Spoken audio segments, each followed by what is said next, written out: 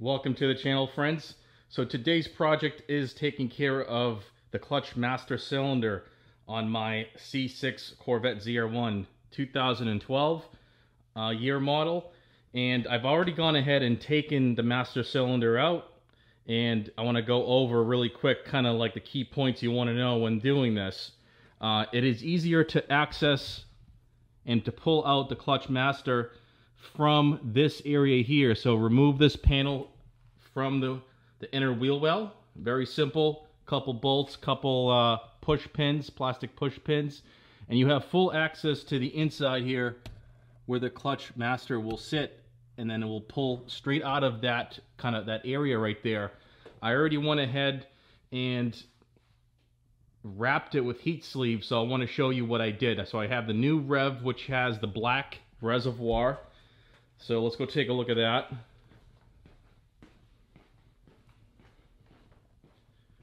Here is the old one. As you can see, really quick, this is where it disconnects. There's a pin that comes out of that, like a clip, sorry, that pulls out of that. And then you rotate this out of the firewall. And there's also a clip that's attached to the pin that rides on the top of the lever, the clutch lever, uh, pedal, I should say. So once you remove those those pieces there, those fasteners, this will rotate out and you can pull it straight out of there. I did go ahead and remove the reservoir and plugged it. That way I could just slip it through that port on the bottom there in the inner wheel well area. Otherwise, you would have this hang up as it's coming down. So I advise to remove this. That way it's just an easier, um, you know, removal uh, from that same area I was talking about. So this here is the, the new updated model.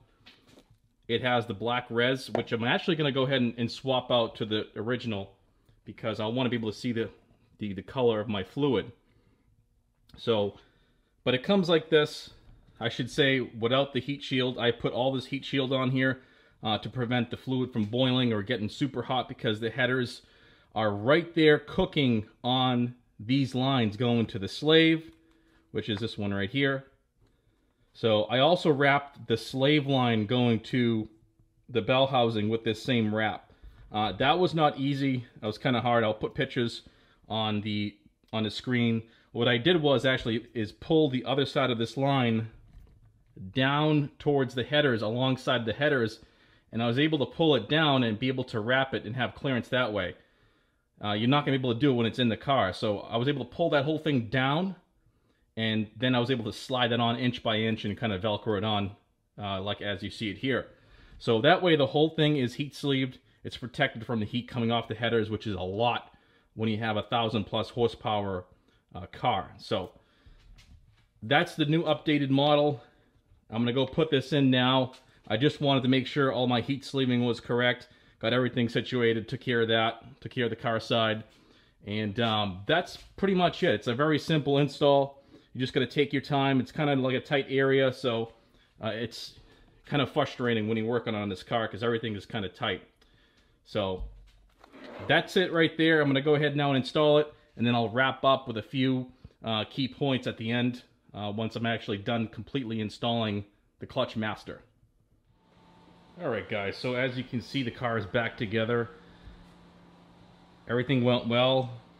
I actually had some trouble with that clip on the factory quick disconnect uh, between the two lines and I'll show you uh, what the trick is.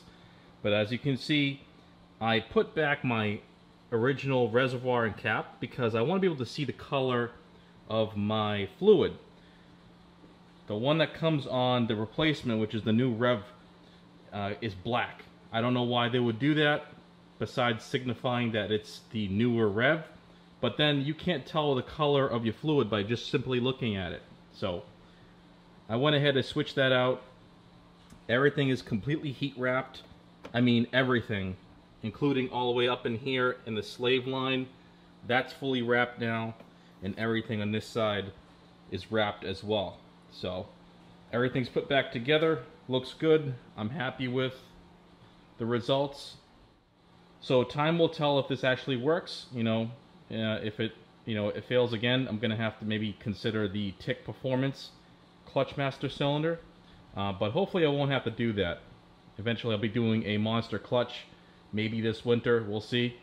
The car is gonna need a clutch. It's still on a factory clutch, but I'm doing pretty well uh, with the power level I have, especially considering that it's over a thousand wheel. So I'm gonna use as much of that factory clutch as I can, uh, and then I'll go ahead and get the Monster Triple, uh, and then put that in. But some updates, you know, I've been cleaning up the engine bay, refining it, changed the water inlets, got the black anodized ones, you know, some stuff here and there. I went ahead and installed a factory GM 4-bar sensor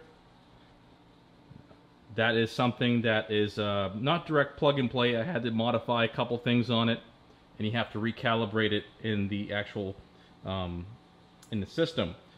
So I'm not going to cover that in this video. I'm just going to go ahead and show you really quick the old master uh, to show you the clip. So the main issue people have with this um, when reinstalling it is that once you slip over the outer piece, it's very hard to get the clip over. It's very tight in there. You can't see what you're doing. Not a lot of light. Uh, I was having a lot of trouble just trying to push this thing into place with the clip in place. Now, if you have trouble with it, the best tip I can give you is to take that clip and spread it open a little bit, but test fit it on here as well, because you want to still have some retention on that on that groove. So I spread it open little by little till I felt it just barely grab on this on the inside of the groove, which meant it's going to positively lock in place. And then that way it would actually function and uh, not have any issues. So by doing that, I installed the clip on the other piece. And then I went ahead and forced this side and the other side with both of my hands. I reached up up near the headers and then I was underneath the car and then reached over with my other hand through the wheel well and I pushed and squeezed as hard as I could and then eventually I could um, feel it like kind of wiggling and then it snapped in place. And then you want to hear that snap and then you're good to go. But that's the trick right there is to spread that clip. That way there's less interference. But make sure you test fit it because you don't want this thing um, being too loose and then coming apart on you when it's under pressure when you go ahead and you know press down on this on this push rod which is actu actuated by your your lever your your clutch pedal so make sure that locks in place and then you're good to go. But that's the install. Um, I wish I knew this tip. I figured it out a day later. I came back at it, kind of, you know, gathered my thoughts. And within two minutes of me spreading that clip and then reattempting it, I was done. And uh, I was so happy. But that's going to be it, guys, for the video. I really hope you enjoy this video. And if you have any questions or comments, please place them down below. And if you haven't subscribed to the channel already, please go ahead and do so. I want to thank you guys for watching, and I'll see you on the next one.